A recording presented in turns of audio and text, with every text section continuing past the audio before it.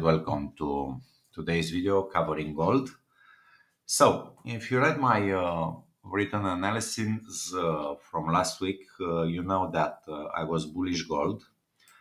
So, the reason for this is as we can see on the daily mm, chart that is on the screen right now, after gold has touched this level of support, we have a very strong reversal two Fridays ago and uh, this reversal uh, stopped in this uh, in this level of resistance given by the falling trend line and the very important 1680 1685 zone. After this also we can see that we have a small double bottom here. So we have a small consolidation after this and we have a a strong break above these two levels. Again, consolidation and again, a very uh, strong candle uh, breaking above this level and uh, confirming this also as a double bottom. So in conclusion, in medium term, uh, gold is uh, strongly uh, bullish. On shorter term, however, as we can see, after this low, we have this strong leg up. After this, a consolidation, not a correction.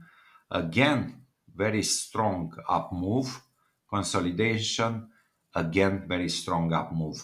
So at this point, uh, correction uh, is very probable and uh, also very healthy for, uh, for a new wave uh, of buying of gold.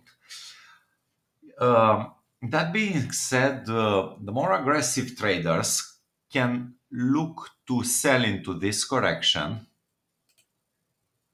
As we can see, we have this small trend line is broken. Confirmation that now it's going down. And uh, for this, you can target this uh, level of support now around uh, 1725 or this level of support here uh, this is an interim support. So what what i'm trying to do is to sell rallies uh, for uh, for this correction in search of a good risk reward on the other hand, uh, more uh, conservative traders can wait for this correction to happen and uh, try to find buying opportunities, as I said, around this support level. That's it for today's video. Thanks for watching. Bye bye.